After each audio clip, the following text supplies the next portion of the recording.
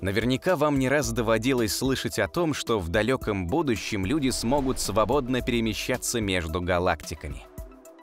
К сожалению, эта возможность наступит не так скоро, как это предсказано в фантастических фильмах. Но вот посмотреть на наших соседей во Вселенной мы можем уже сегодня. На данный момент наука знает о десятках ближайших к нам крупных и карликовых галактиках – данные о которых до сих пор продолжают поступать. Конечно, говорить о дружественном визите нам пока рано. Но если такая возможность все же появится, куда мы сможем отправиться в первую очередь? И что находится за пределами Млечного Пути? Космо. Но перед тем, как отправиться в другие галактики, я хотел бы рассказать вам про мой телеграм-канал. Там я рассказываю про разные явления в космосе, показываю снимки далеких планет и делюсь прочей интересной информацией. Если вам, как и мне, действительно интересно то, что происходит во Вселенной, подписывайтесь, ссылку я оставлю в описании. Галактикой принято называть систему из звезд, скоплений межзвездного газа, пыли, темной материи и планет, связанную единой гравитационной энергией. Все объекты в составе галактики участвуют в движении относительно общего центра массы.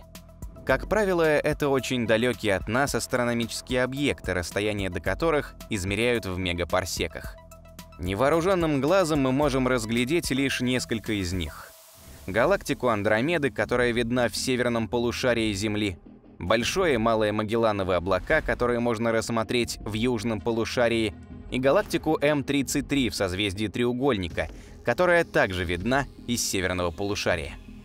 Точное количество галактик в наблюдаемой части Вселенной неизвестно, но, вероятнее всего, их количество может достигать 2 триллионов. Возможность рассмотреть отдельные из них появилась только в 20 веке. К началу 1990-х годов насчитывалось не более 30 галактик, в которых удавалось увидеть какие-либо звезды, и все они входили в состав местной группы.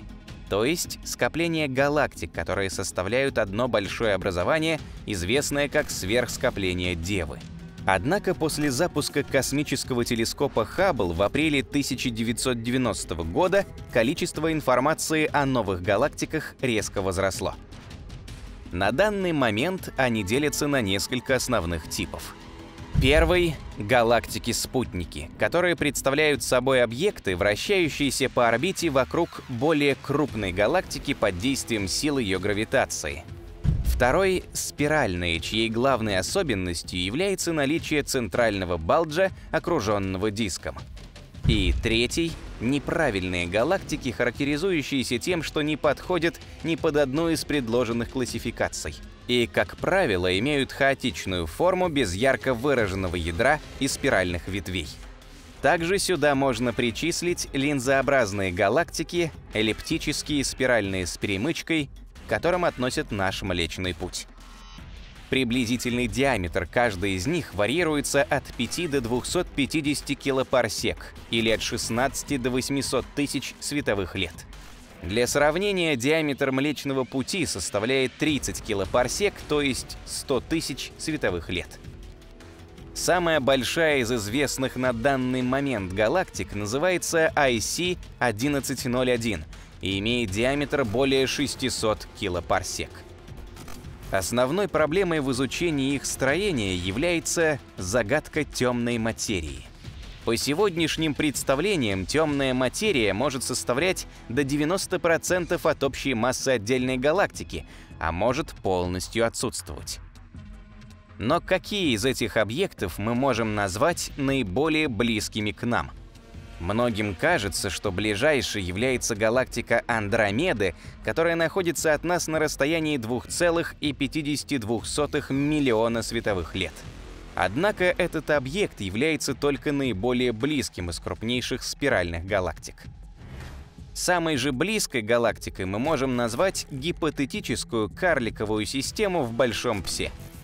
Этот астрономический объект также входит в состав местной группы. Галактика содержит относительно большой процент звезд красных гигантов и предположительно 1 миллиард обычных звезд. Ее классифицируют как неправильную и официально признают как самого близкого к нам соседа. Галактика находится на расстоянии 25 тысяч световых лет от Солнечной системы и в 42 тысячах световых лет от центра Млечного Пути. Этот объект был открыт в ноябре 2003 года международной командой астрономов. Несмотря на то, что он находится так близко к Земле, обнаружить его было не так просто. Причиной этому было то, что галактика находится за плоскостью Млечного Пути, где концентрация звезд, газа и пыли является наибольшей. Вторым нашим соседом можно назвать карликовую эллиптическую галактику в Стрельце, которая раньше также считалась к нам самой ближайшей. Она представляет собой галактику-спутник с четко выраженной эллипсоидной структурой и находится на орбите Млечного Пути. Объект имеет четыре шаровых звездных скопления, первое из которых было открыто в 1994 году вместе с открытием самой галактики. Ее диаметр составляет приблизительно 10 тысяч световых лет. Расстояние от Земли примерно 70 тысяч. А удаленность от центра Млечного Пути около 50 тысяч световых лет. Эта галактика может быть ответственна за образование рукавов Млечного Пути. К такому выводу пришли исследователи из Университета Питтсбурга, которые основывают свои выводы на численном моделировании – по их версии, рукава нашей галактики могли образоваться при столкновении с карликовой эллиптической галактикой в Стрельце. Данный объект находится в процессе слияния с Млечным путем. Причем он несколько раз уже проходил через плоскость нашей галактики.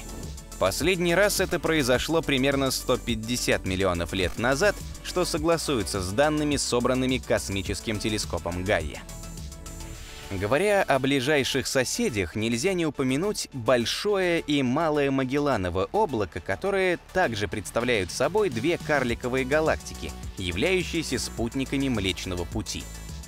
Большое Магелланово облако расположено на расстоянии 163 тысяч световых лет от нас, то есть на расстоянии, которое вдвое превышает диаметр нашей галактики.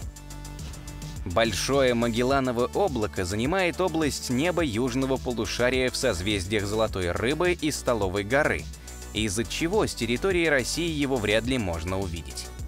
Эта галактика приблизительно в 10 раз меньше Млечного Пути и содержит приблизительно 30 миллиардов звезд.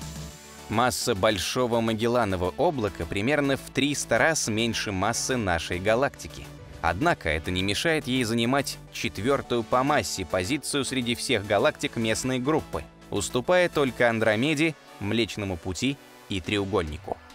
Одним из самых известных объектов этой галактики является звезда WOH-G64, которая считается одной из крупнейших звезд, известных науке.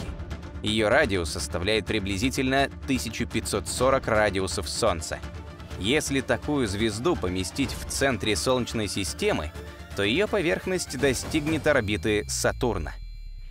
Ожидается, что Млечный Путь и Большое Магелланово облако столкнутся примерно через 2,4 миллиарда лет. Соседом этого объекта можно назвать Малое Магелланово облако, которое также является карликовой галактикой и окружено оболочкой из нейтрального водорода. Расстояние малого облака от нас составляет 60 килопарсек, то есть приблизительно 195 тысяч световых лет. Облако находится в созвездии Тукана и выглядит как тускло светящееся пятно размером около 3 градусов. Предполагается, что в состав Малого Магелланова облака входит полтора миллиарда звезд. Однако их, к сожалению, также не видно с территории России. Согласно опубликованным в сентябре 2014 года данным, через 4 миллиарда лет Млечный Путь, вероятнее всего, поглотит и этот объект.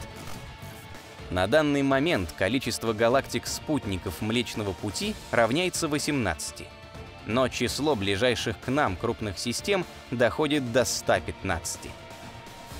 Список этих объектов нельзя назвать полным, так как в настоящее время все еще открываются новые системы-карлики, расположенные недалеко от Млечного Пути. Обнаружение и исследование подобных объектов является достаточно трудной задачей. Однако поиск ближайших к нам галактик до сих пор остается одной из наиболее важных целей для сегодняшней астрономии.